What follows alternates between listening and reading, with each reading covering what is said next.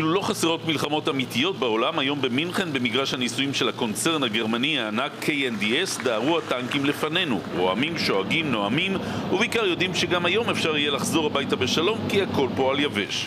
אבל הפעם הטנקיסטים הגרמניים יודעים שהסיכויים שיחזרו גם ממלחמה בשלום גדלים, כאשר על הטנק החדיש הזה, לאופרד 2 מדגם A7A1, הורכבה מערכת ישראלית של מעיל רוח מתוצרת רפאל שמנטרלת טילים. הנה איש מערכת הביטחון הישראלית שאת פניו אנחנו לא יכולים לחשוף. מה שאפשר לראות פה זה בגדול, מלמעלה, זהות ערכים אה, בין המדינות. במקרה הזה הגנה ושמירה על, אה, על הערך היקר ביותר. החייל, הטנקיסט. החייל, הטנק, האדם שבטנק.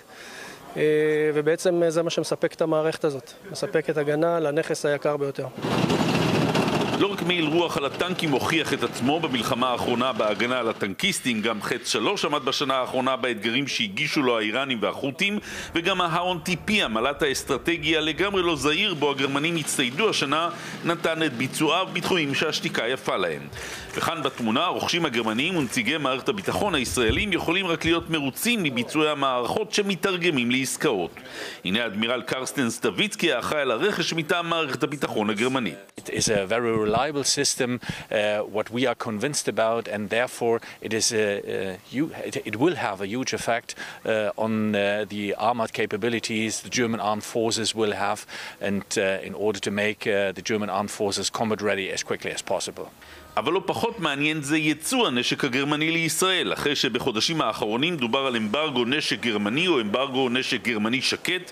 הנה הודיע מוקדם יותר החודש הקנצלר שולץ כי אין אמברגו וכי משלוחי נשק קרובים יוכיחו זאת. Wir haben nicht entschieden, keine Waffen zu liefern. Wir haben Waffen geliefert und wir werden Waffen liefern. והנה אתמול מתפרסמים מספרים מאוד מעניינים. מתברר שהייצוא הביטחוני הגרמני לישראל זינק בחדות בחודשים האחרונים. לפי נתוני משרד החוץ הגרמני, רק בשלושת החודשים האחרונים אישרה גרמניה ייצוא ביטחוני לישראל בשווי של 100 מיליון דולר. לא גבוה כמו הרבעון האחרון אשתקד זה שבא בצמוד לטבח אוקטובר, אבל גבוה מכל שנת 2022. מדובר ככל הנראה בעיקר בפגזים חכמים מונחי GPS של יצרנית התחמושת הגרמנית ריינמטאל. האדמירל לא נכנס לפרטים, אבל שמח לדבר לדבר על המחויבות הגרמנית לביטחון ישראל. Israel indeed is our friend. and uh, will always be our friend. And uh, what we call uh, uh, Staatsräson oder it is a raison d'être in order to assure that indeed uh, the Israeli state uh, will ever exist uh, for the future. משרד ההגנה הגרמני, צריך להגיד, רואה את המערכות הישראליות, את הטכנולוגיות הישראליות כבעלות ערך רב. גם עקב כך שהן פורצות דרך, אבל גם בגלל היכולות המבצעיות המוכחות שלהם בשטח. צריך לזכור שלא בקלות חודשה אספקת הנשק הגרמני. ישראל הייתה צריכה לחתום על מכתב התחייבות שלא תפר באמצעותו את הדין ההומניטרי הבינלאומי.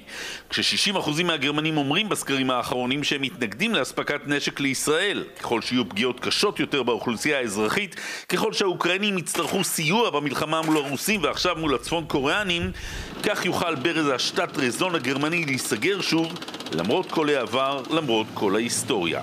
דוב גילה ממגרש הניסויים של טנקי הלאופרד 2 בשולי העיר מינכן.